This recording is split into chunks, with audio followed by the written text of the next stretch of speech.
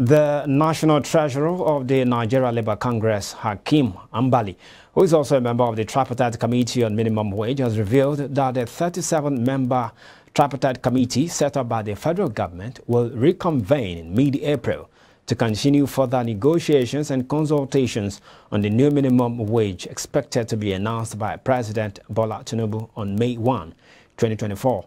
Ambali noted that the committee members are still collating and analyzing the reports received from the zonal public hearings. The committee had received the reports of zonal public hearings held across six geopolitical zones of the country between Wednesday, March 27, 2024 and Thursday, March 28, 2024. The minimum wage to be unveiled is expected to cushion the effects of the removal of subsidy on premium motor spirits during the public hearings. Different zones have suggested different amounts of minimum wage. The Southwest zone has suggested 794,000 naira.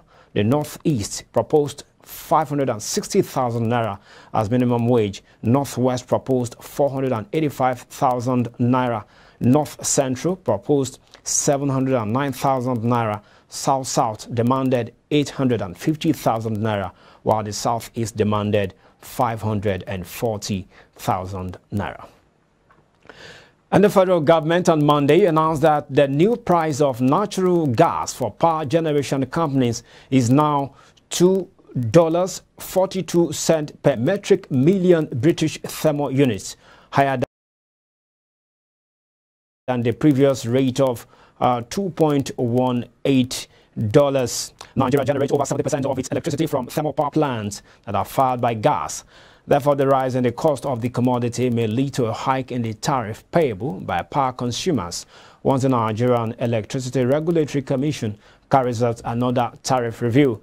The Nigerian Midstream and Downstream Petroleum Regulatory Authority, an agency of the federal government, unveiled the new domestic base price and wholesale prices of natural gas for 2024 in an announcement on Monday. The NMDPRA also pegged the cost of commercial gas at $2.92, up from the previous cost of $2.05. The announcement was signed by the Chief Executive NMDPRA Farouk Ahmed Recall that the multi-year tariff order released by NERC in January 2024 for the electricity distribution companies was calculated based on the previous price of natural gas. In the announcement on Monday, Ahmed said the Petroleum Industry Act 2021, assented to by the President on August 16, 2021, in August 2021, provided a clear regulatory framework for the determination of a market-based pricing regime for the domestic gas market. The NMDPRA boss further stated that the latest action was taken in line with Section 167, the third and fourth schedules of the PIA 2021, which mandated the regulator to determine the domestic base price and the marketable wholesale price of natural gas supplied to the strategic sectors. Meanwhile, a new power sector report has revealed that despite the persistent epileptic power supply nationwide, revenue generation by electricity distribution companies in Nigeria surged to 1.1 trillion naira within the 12 months of 2023. The figure represents an increase of 234.4 billion naira or 28.2 percent Moving on now, a new power sector reports, as we take our earlier report again, that despite the persistent epileptic power supply nationwide, revenue generated by electricity distribution companies in Nigeria surged to 1.1 trillion naira within the 12 months of 2023. The figure represents an increase of 234.4 billion naira or 28.2% from the 831 billion naira generated by the power firms over a similar period in 2022.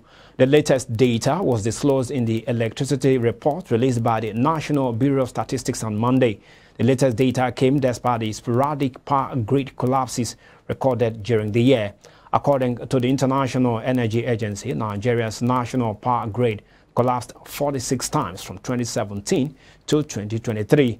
The agency also stated that Nigerians endured more nationwide blackouts in 2023, especially on September 14 when the grid collapsed due to a fire on a major transmission line.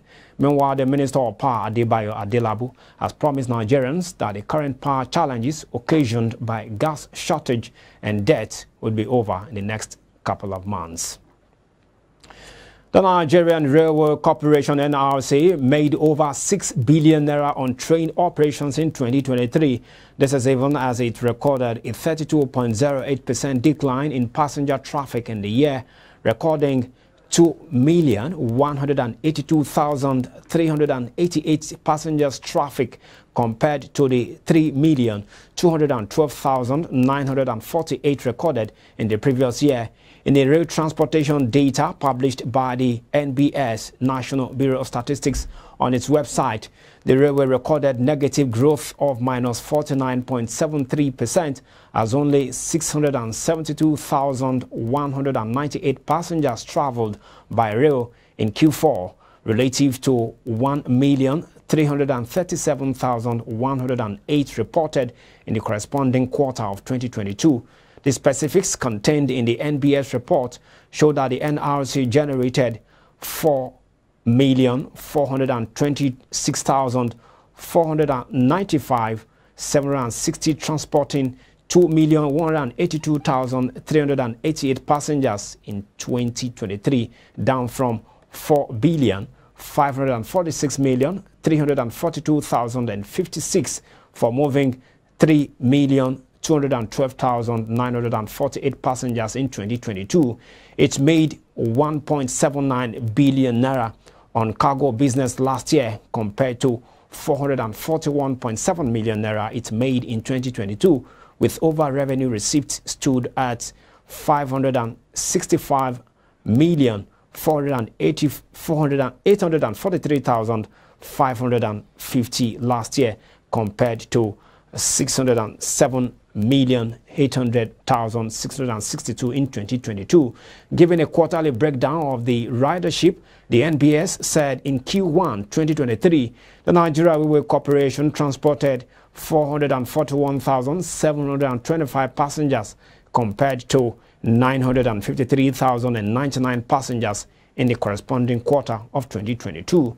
Ridership in Q2 2023, however, improved marginally to 474,117 from 422,393 recorded in the corresponding quarter of the previous year.